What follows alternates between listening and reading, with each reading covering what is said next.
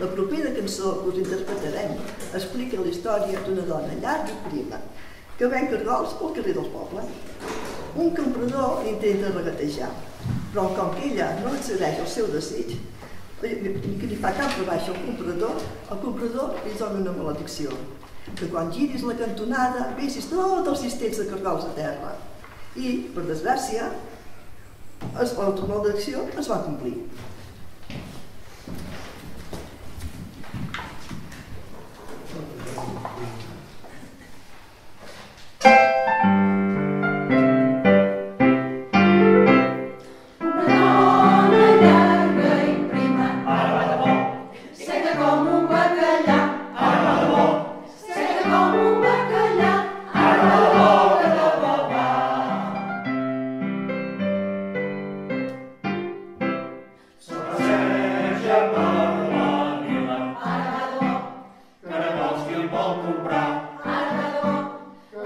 Senhor